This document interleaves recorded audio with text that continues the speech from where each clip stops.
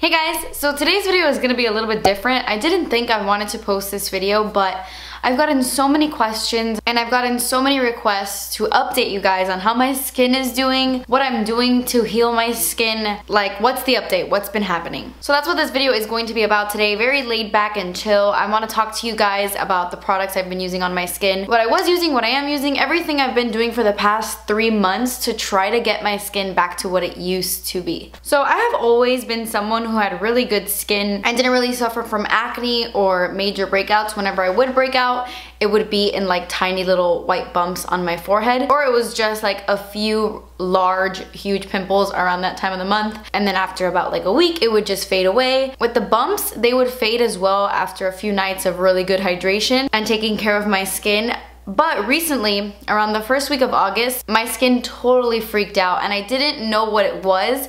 I knew it wasn't makeup because it started happening on my chest as well. And I don't put makeup on my chest. So it was really weird. It got really irritated. I just started getting bumps all over my forehead and all over my chest. They were like little tiny red pimples, but they weren't like pimples. I don't know how to explain them. I spoke about this briefly in another video. I will link it down below, but it actually started off on my chest. I started to notice red bumps all over my chest and I hadn't changed my body wash. I wasn't using anything that would irritate my chest. I never spray perfume on my chest, always on my neck. So it was really weird. And then it started happening on my forehead. And it first started out like right here on my forehead and as the days passed on it started to spread all over my forehead. It got wider and wider and wider on my forehead and it was the strangest thing. Like I can't even explain it. It was like texture all over my forehead and some of it was pimples and some of it was just bumpy. It was so weird. It's something that has never ever happened to me before. So the only thing I could think of was that it was my diet because I had recently changed my diet. The beginning of August, I kind of cut out dairy completely from my life. I no longer eat milk, cheese,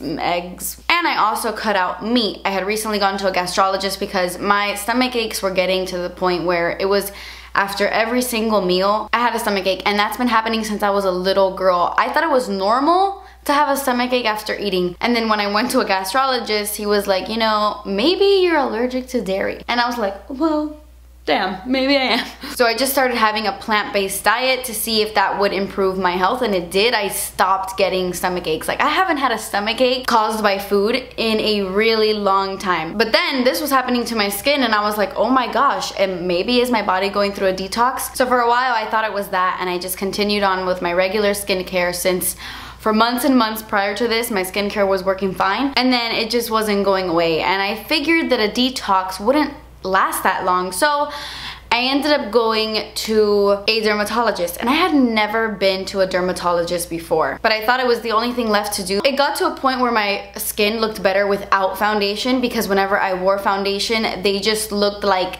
tiny little fungus balls all over my face.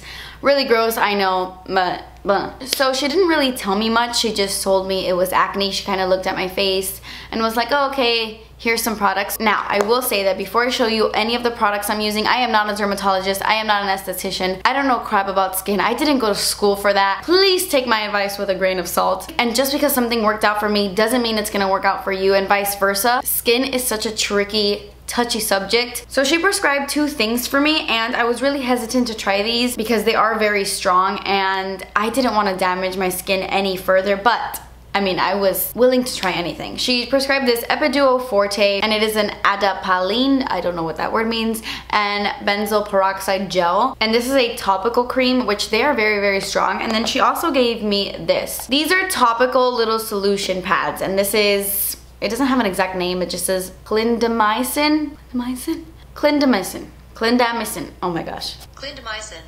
clindamycin phosphate topical solution 1%. And they just look like this. They are little pads. You can't see that, but they're just like little pads. And they smell like pure alcohol, like pure freaking alcohol. She told me to wash my face. She also gave me like this green tea cleanser that didn't really work out for me. I didn't like it at all. Um, she told me to just wash my face before bed and then apply the Epiduo Forte and then in the morning wash my face again and then apply the little solution pads. This was supposed to just like disinfect the acne or disinfect my problem areas. So I ended up really, really loving this. I found that this made an incredible difference. This, on the other hand, I have a love-hate relationship with this. So The first night I used this, I was floored when I woke up in the morning. My face looked 20 times worse than it did before I used it. It was so inflamed, my skin went nuts overnight. And of course, I went to Twitter and I like flipped out and a lot of you guys were telling me, no, keep using it Topical creams usually make your skin look worse before it makes it look better. So I ended up taking everyone's advice because I got so many comments that said the same thing. So I used it one more night and I, I'm so mad I don't have a picture, but my skin got better. Like it dramatic, it went from really, really bad to pretty decent. Like the next day I was like, oh my gosh, it's gone down so much. The dermatologist also told me to skip a day because I told her I had really dry skin. She was afraid this was gonna dry out my skin too much. So when I went to use it again, I noticed zero changes. Like it had fixed it, but it wasn't really fixing it much. And then when I went to use it again, it actually kind of burned my skin a bit. Like once it took everything to the surface and kind of calmed down my skin a bit, it wasn't working anymore. I feel like this was just burning my skin, so I completely stopped using it. I feel like it helped as much as it could. And then I kind of just went back to my same old routine. My skin was better, but it wasn't going away. And after a few days of no improvement, I thought, okay, I'm just gonna do my research myself. I'm not gonna go to dermatologist. I'm gonna figure this out on my own. And thankfully, I had you guys to back me up because I got so many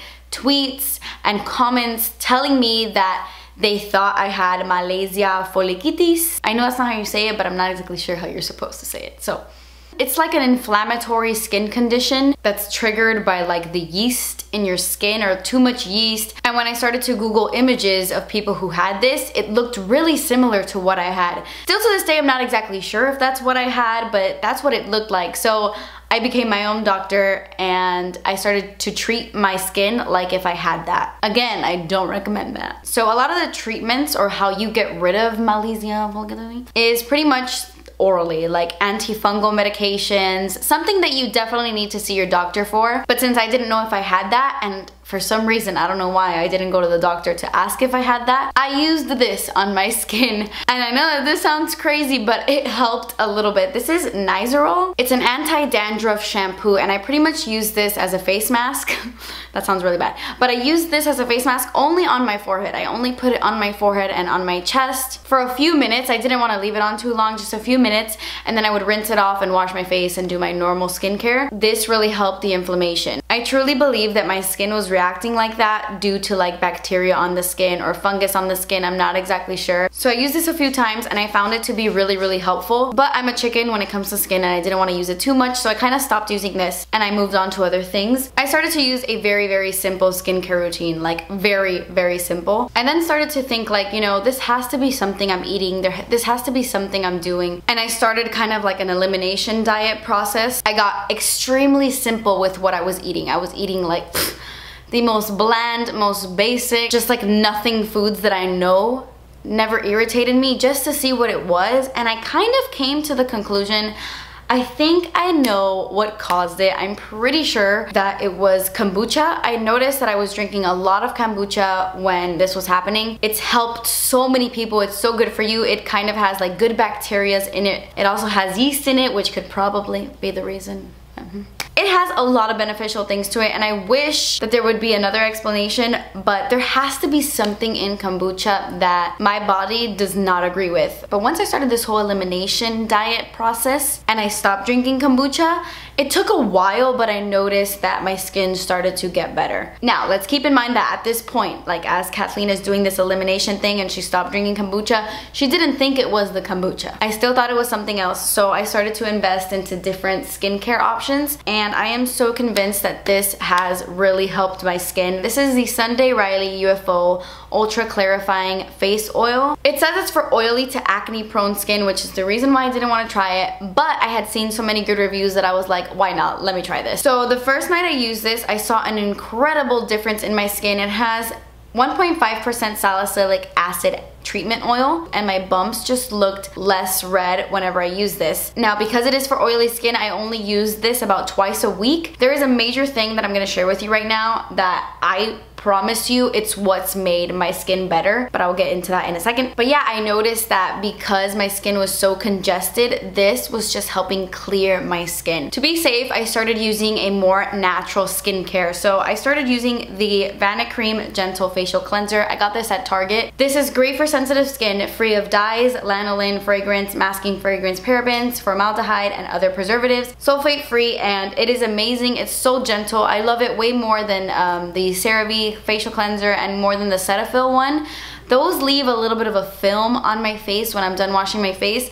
This one didn't do that. It's really, really great. I definitely recommend it for those of you with sensitive skin and it's pretty affordable. I got it at Target. Like I said, I was using this strictly instead of any of my other face washes and it made a difference in how red my skin was. My skin was getting so red from just drying it out. And then for my moisturizer at night, I noticed that my beloved, my beautiful Origins Night-A-Mins moisturizer wasn't doing it for me anymore. Every time I used it, it was almost like my skin like got worse the next day. I don't know what it is because I am a huge believer in that cream. It has made a huge difference in my skin, but for what I'm going through currently, I don't like it so much. I have always really loved the Ultra Repair Cream by First Aid Beauty. It's safe for sensitive skin, it's allergy tested, no artificial fragrance, and it helps hydrate parched skin, relieve minor irritation due to eczema and other conditions, and it's awesome. Every time I have a really bad reaction to something, I always use this. Like for years. I love using this whenever my skin needs a really good pick-me-up. So I have been using this at nighttime before bed in conjunction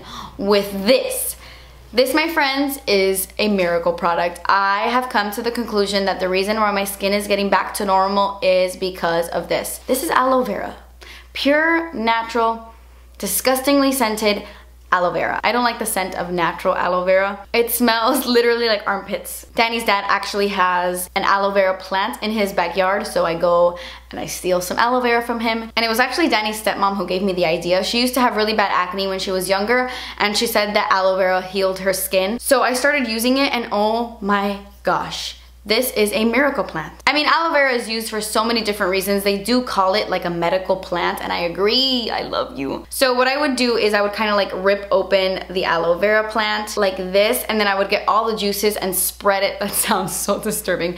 I would spread it all over my face. And it's really gross at first because the scent is like but I would just rub it into my skin, like into my full face. I put it everywhere and I would put it all over my chest. And it wasn't so bad because aloe vera dries instantly. Like it feels goopy and sticky and kind of like slime. It feels very, very slimy. But it dries really, really fast. So you're not sleeping with like this slimy, wet thing the whole night. It dries fast. The scent kind of lingers but I mean, it's totally worth it. I recommend this for everyone. I don't know if like aloe vera gel works the same, like the ones you use on sunburns or like aloe vera face masks that they sell in store. I don't know how good that is. I would just recommend buying the actual plant and using that on your face. It's the most natural way to do it and in my opinion, it's the most potent. If you don't have a plant of your own, I mean, I see aloe vera everywhere. I've seen it at Publix, I've seen it at a bunch of grocery stores.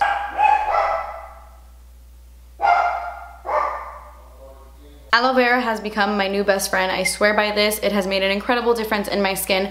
I will say, because it dries instantly, I don't think it's really great for hydrating the skin. It's amazing for purifying the skin and for like clearing the skin, but it doesn't really hydrate my extremely dry skin. So yeah, I wanna show you guys pictures of what my skin looks like now. I, I wanna say that I do have some scarring from the situation that has been going down for the past three months, almost four months that I've been on this journey to good skin. I've never really had really bad acne in the past, so I didn't know. I mean, I always knew. I always knew it's bad to pop your pimples. Everybody tells you that it is. It's bad. Because I had like two really large disgusting pimples. And from messing with them and from popping them so much I have scarring. But it was so bad that I am very very accepting of what's happening right now. It is almost completely gone from my chest. You can't tell in the video but I have a few spots where it's still bumpy. I still feel the bumps. It's still red in some areas but nothing like how it was before. And hopefully it continues to go in this direction. Hopefully the kombucha was the culprit and now that it's gone out of my system I won't be drinking it anymore. Hopefully things stay on this path. But yeah, I just wanted to update you guys on my skin because I have been asked so much. Try out aloe vera. It is so good for the skin. Let me know if you've tried this. I know we all have skin issues and we're all struggling with our skincare, so let's turn the comments into advice for one another. Leave a comment down below with your current skincare issue and maybe someone else who has previously had that issue but found a cure for it can comment and we could just give each other advice on our skin because it is a learning process. Oh, I wanted to zoom in. So this is my forehead now. It was so bad. I can't even tell you. This is the scar. This is completely flat. Like you know, there's no bumpiness there, but I have like these three dots that I don't think are going anywhere. and I have the scarring from the bumps over here as well. But yeah, that's all I wanted to talk about today. That completes this video. Thank you guys so much for watching. Please subscribe if you haven't already, and I will see you in my next video. Bye!